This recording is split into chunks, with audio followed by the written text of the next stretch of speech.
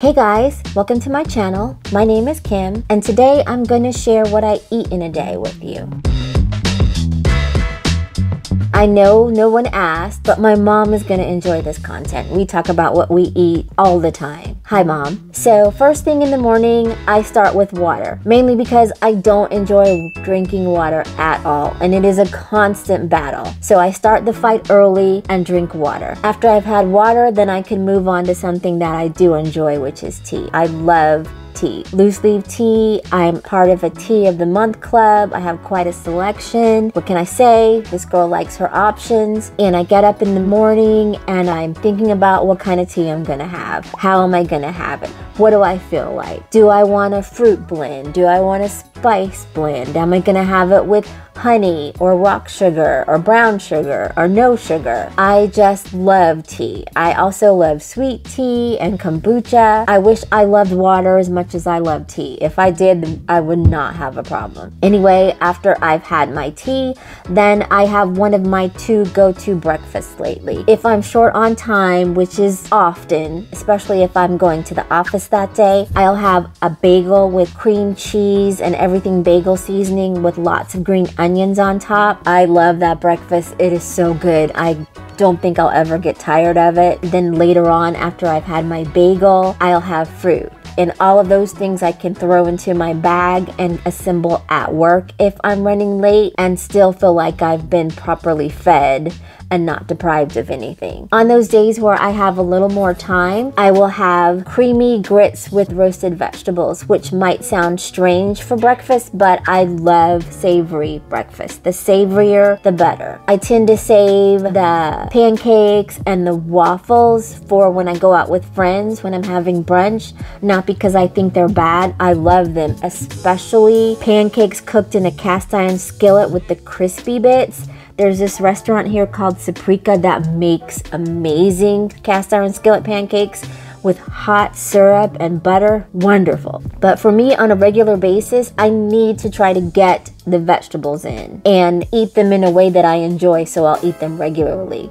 So, the grits and the vegetables it is. Later on that day, that morning, I will have fruit. I will grab a piece of fruit, an apple, an orange, a banana, a mango, whatever I happen to have, and eat that a little bit later on. And then more water because I am always trying to drink more water. For lunch these days, I've been really enjoying northern beans in some way, shape, or form, usually in a soup. I'll take the beans, I'll throw in some carrots, some onion, some celery, and I'll season it with thyme or rosemary, maybe a little chili powder if I'm feeling like I want something a little spicier and let everything simmer down. And I might pair it with a protein, maybe chicken, maybe not. I like to have spinach in there and it's just such a filling thing. And then after that, a little bit later, I might have fruit again or if I'm at home, I'll make popcorn. If I'm at the office, it might be a bag of pop chips I've got stashed in the drawer, or possibly if I have any on hand, a piece of chocolate, but it's got to be good chocolate. I'm a bit of a chocolate snob. My personal opinion, there's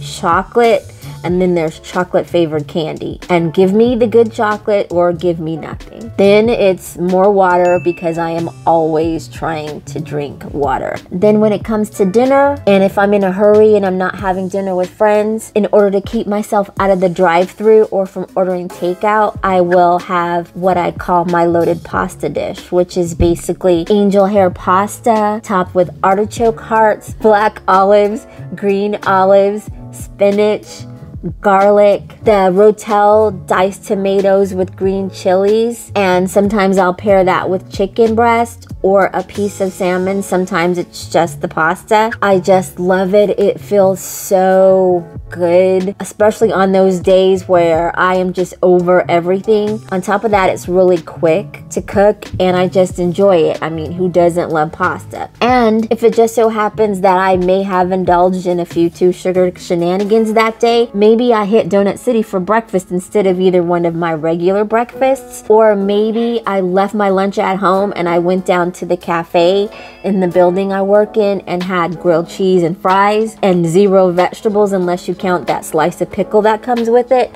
And I feel I need to eat some more vegetables, then I will make zoodles. I have a spiralizer and I happen to love zucchini. So I will give them a quick pan saute with garlic and then I'll just load all of my toppings on top of it and eat it that way. It's something that a younger me, maybe five, six years ago, would never have touched because at that point, my food groups were salt, fat, grease, and sugar. I used to tell anybody that. I ate what I wanted without any regard to nutritional value. I think it was more of a personal rebellion because I was consuming a lot of health magazines that were telling me in order to be healthy, you need to eat like this this or like that. But none of the foods that they were sharing with me were things that I liked. I was familiar with other foods.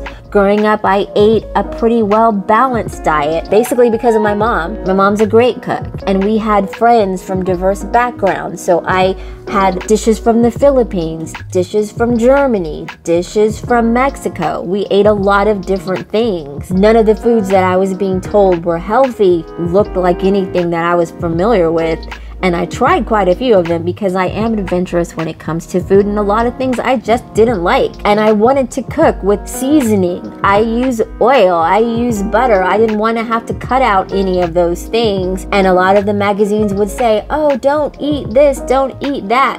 And telling me not to eat something is surefire way to get me to eat it. I did a master cleanse for all of an hour years ago, which I would not advise, but I tried it. I hated it and I ended up eating my body weight in chocolate after that. So I do not deprive myself.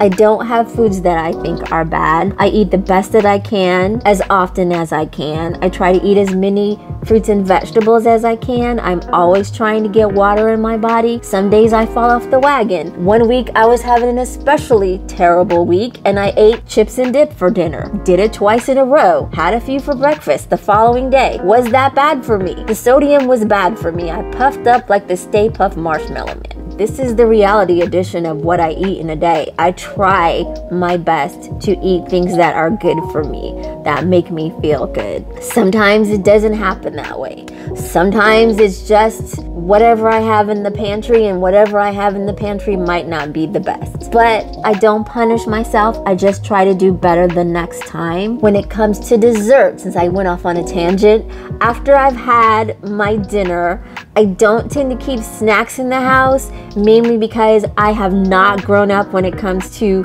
portion control.